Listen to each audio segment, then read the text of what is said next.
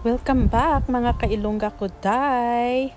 Ari oh, may bago ako nga project para sa inyo. I'm sure magustuhan nyo kid inid. Hindi bala ka namin sini.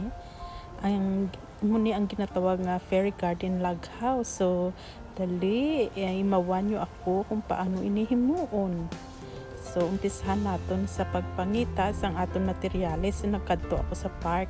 Namulot ako sang laya nga panit sang kahoy, kag laya nga kagingking. Ang nahuya pa guys, kay balaan nyo man, nga hindi diri uso amo ni nga klase no ang nagapamulot ka sang kahoy.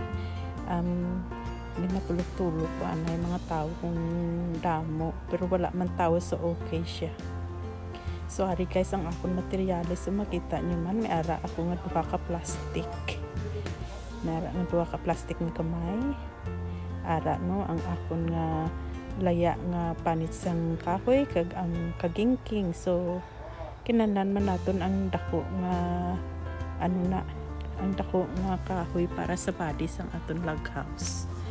So kinahanglan naton ang hot glue kag ang scissor pang utod. So, let's go guys. So, next, umpisahan natin ang paghimo sang bintana. So, himo na natin ang bintana. Sa kabul pa niya akong nga cutter. Ara ang may duha na ka. Itakod na natin ang atong window pane gamit ang atong glue gun.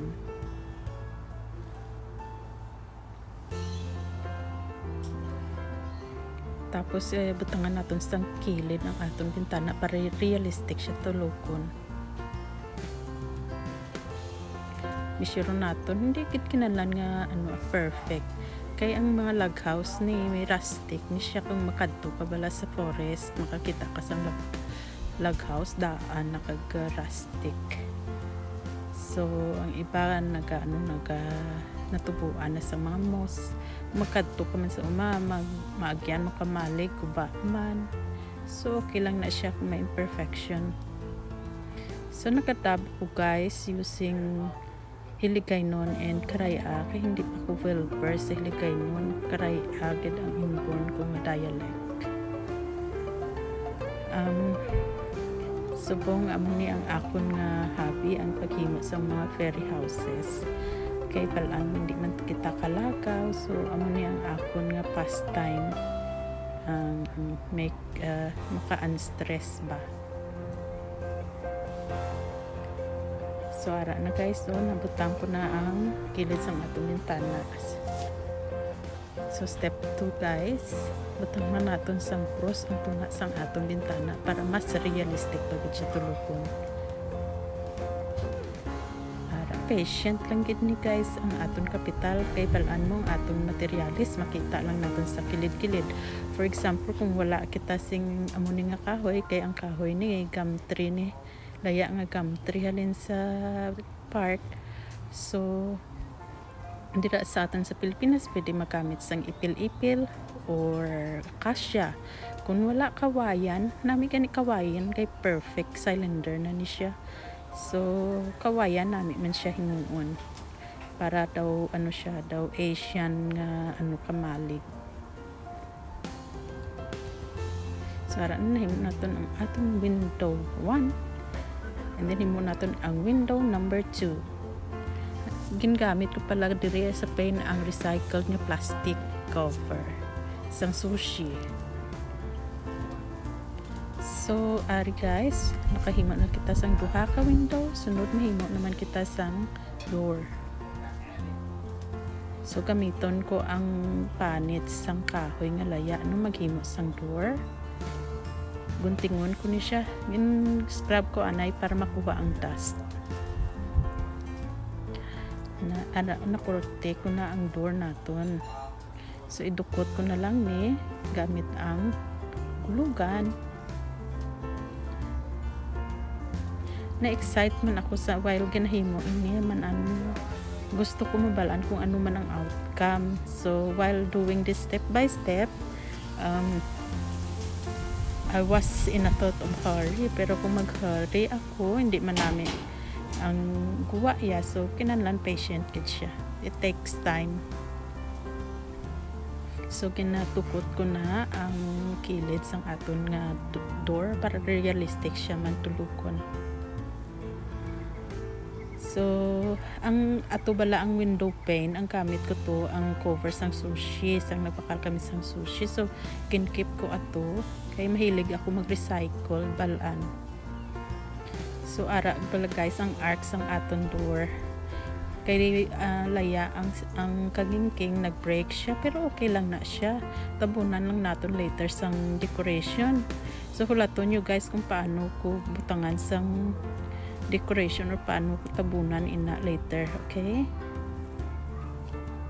So next step mahimo kita sang steps. Steps hindi man pwede hagdanan kay duha lang siya ka steps. So steps himo mahimo kita sang steps sang aton nga door. So nabutod ako sang duha ka uh, kagingking kag i-attach ko siya sa dalong sang aton door. Tunga ko siya actually ang isa ka stick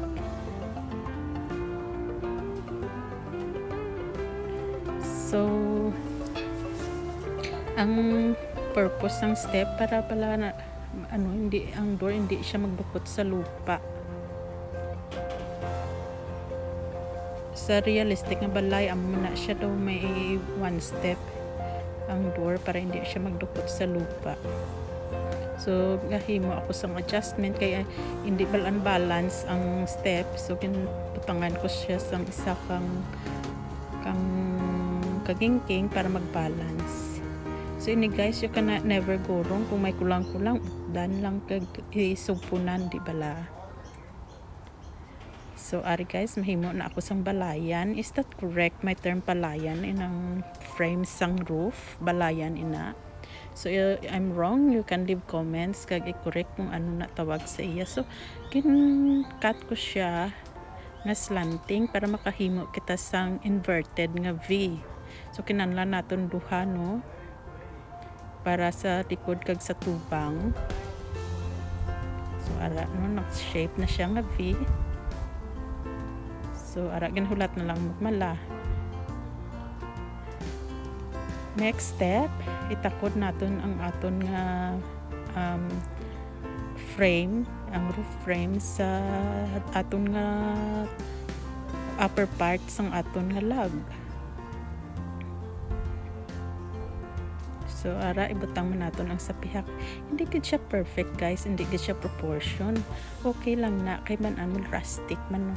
Even though kani kung maghimo kita sa mga project, um, ang gusto natin nga, ano, nga proportion, i-measure natin sa maayo. Ari guys, uh, ma-install na ako sang at tiles sang atong roof gamit sang um, panit sang kahoy So, na-install ko na. May background ako kaya ang aming neighbors nagka-istorya direho. So, may background siguro ako mabatian yung neighbors namin.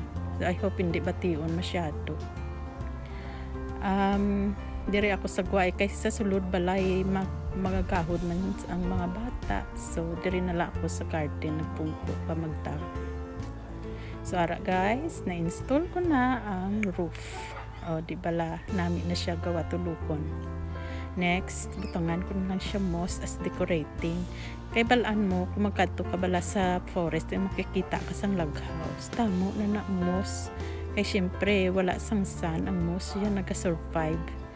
So, amo na. So, butangan ko siya moss para ma-hide naton ang, ang iba nga imperfection sang aton nga uh, log house nga na decoration sa aton garden. So tapos na siya guys. Makita nyo ara. Tapos na. Oh. Natabunan naman tong arc sang door. Natabunan ko sang moss hindi pala. Oh hindi na siya palaan so that's it. Next. Okay next ara. Ano ibutang ko na ang aton nga nga succulent sa aton nga pot dugay na kuya guys. Nagakolekt ng succulents since 10 years ago. Kay mahilig ko daan sa bulak. So ari guys i-fast forward na ni diretso na ni sa finished product. So ara ng finished product diba manami siya guys? Oh hindi na naton kinahanglan bakal sang dekorasyon sa fairy garden. Himo una lang naton ini. So gina-encourage ukit kamo guys nga mag-like ka mag-comment ka mag-subscribe sa akon nga YouTube channel. Kay diri damo mabalaan yung nga crafts especially subong ang akon nga focus naghimo sang fairy garden So salamat gid sa tanan. So bago ini matapos, hindi gid magkalipat nga mag-comment kay basi bala ang comment nyo amo na ang akon nga next project hindi bala. So salamat gid sa tanan kag uh, mahiyad lang nga adlaw kag uh, be happy lang kita tanan. Bye.